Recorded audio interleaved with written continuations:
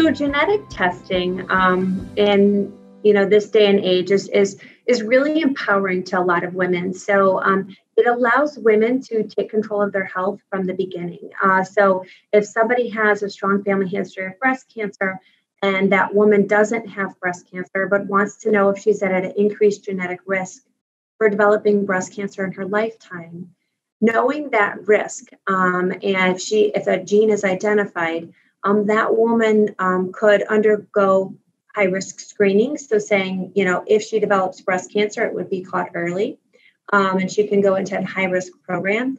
Um, or she can elect to prophylactically, um, meaning before cancer, remove her breast.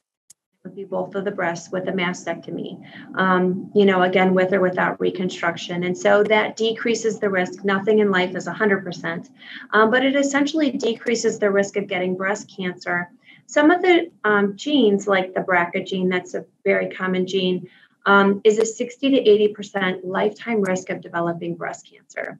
And so that would take that lifetime risk down to about 5% risk of developing breast cancer. And so that's empowering for a lot of women. Um, and so some women do um, elect to have that procedure.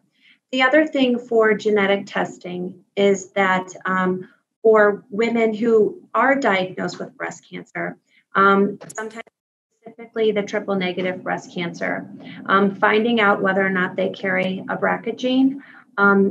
We know that certain genes in triple negative breast cancer um, allow patients to have better treatment outcomes with certain uh, chemotherapies. So the medical oncologist may opt to um, add a specific chemotherapy based on uh, whether or not that patient actually carries a genetic mutation.